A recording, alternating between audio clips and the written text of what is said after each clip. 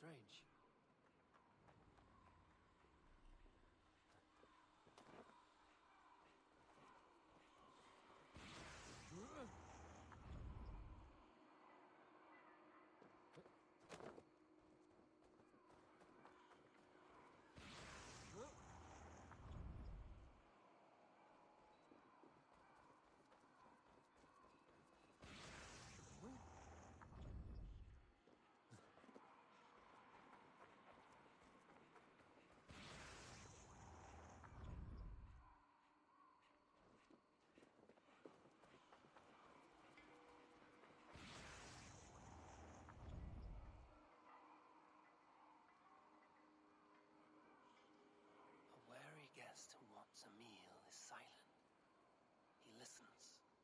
About.